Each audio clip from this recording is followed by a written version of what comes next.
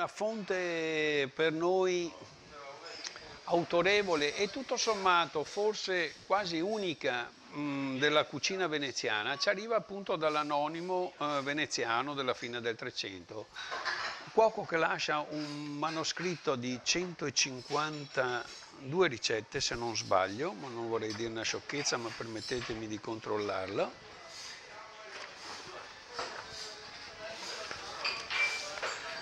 No, sono 130 135 per la precisione, 135 ricette dalle quali eh, si intende ovviamente la provenienza del cuoco stesso e quindi assolutamente del eh, veneziano veneto, assolutamente operante in città per via della ehm, ricchezza di ingredienti data appunto da uh, Venezia capitale, non certo dalla provincia e dalla terraferma eh, che ancora nel 300 non godeva di, grandi, di grande opulenza e, e con l'anonimo veneziano eh, recuperiamo la ricetta direi quasi base eh, della cucina veneziana che è il saor. Eh, il primo spunto ufficiale lo, lo, si trae appunto dal manoscritto di Anonimo che sta nella biblioteca casanatense di Roma eh, a cui eh, abbiamo avuto accesso per vie traverse, naturalmente ufficiali, eh, con, attraverso la biblioteca marciana che ci ha consentito di andare a filmare il manoscritto e abbiamo la copia originale in CD, quindi per un certo periodo abbiamo fatto vedere anche nel, nel, nel, nel menu eh, qualche breve tratto eh, di scritti originali, eh, giusto per dare un po' di colore e anche senso alla proposta. Quindi il Saor compare per la prima volta ehm, eh,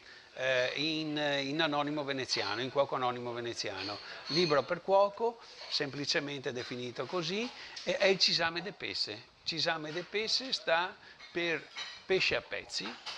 fritto, eh, conservato in, in agresto, cipolla, eh, olio um, relativo e aceto in genere e, e, ed era pietanza eh, da poter consumare nel tempo, quindi aveva anche uh, l'obbligo del mantenimento uh, che era una dote eh, altrettanto preziosa. Il gusto dolce, quindi l'agro dolce, viene appunto dall'uso, nel caso specifico del cisame antico, di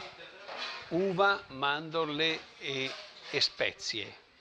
e anziché eh, pinoli e zero spezie come si usa fare adesso. Ma il tema è quello, è, è un recupero preciso di, di, di questa, da questa fonte che è la prima che lo cita.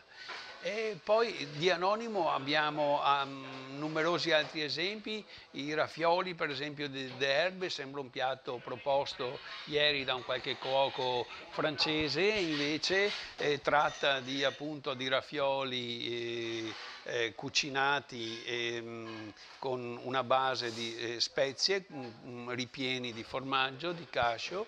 e, ed erbe varie, raffioli d'erbe vantaggiati, questo è il titolo, è un piatto che noi serviamo abitualmente da oramai da dieci anni quasi insieme col saor.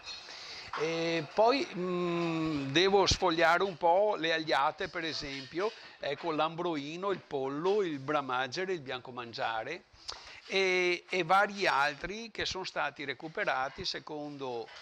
tempi e modalità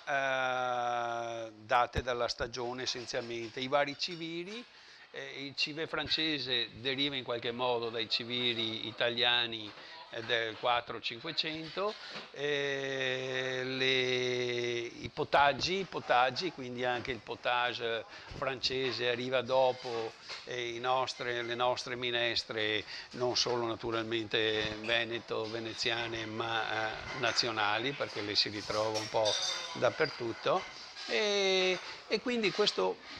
mh, percorso mh, ha avuto come origine appunto eh, questo autore perché in effetti è l'unico che scrive in, eh, in vernacolo, in, in, lingua veneziana per così dire. Tutti gli altri sono, provengono in qualche modo da fuori, sono cuochi, eh, eh, cuochi dogali, cuochi dei principi che girano le varie corti e operano offrendo e proponendo questa, questa conoscenza che accumulano nel tempo e con ovviamente ricette e cose diverse.